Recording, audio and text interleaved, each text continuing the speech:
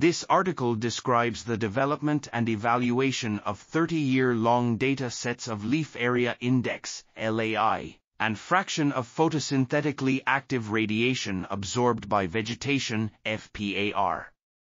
These data sets are critical for monitoring global vegetation dynamics and modeling exchanges of energy, mass, and momentum between the land surface and planetary boundary layer.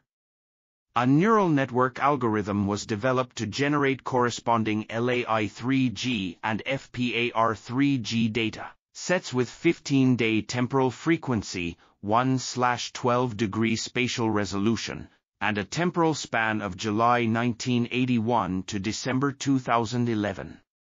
The quality of these data sets for scientific research in other disciplines was assessed through comparisons with field measurements existing alternate satellite data-based products, plant growth limiting climatic variables, and correlations with large-scale circulation anomalies.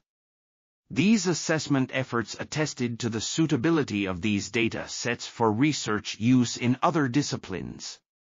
The utility of these datasets is documented by comparing the seasonal profiles of LAI3G with profiles from 18 state-of-the-art Earth system models, which consistently overestimated the satellite-based estimates of leaf area and simulated delayed peak seasonal values in the northern latitudes.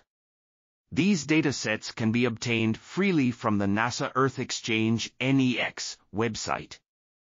This article was authored by Rangabi Minini, Shilong Piao, Ramakrishna R. Nemani and others. We are RTCL.TV, links in the description below.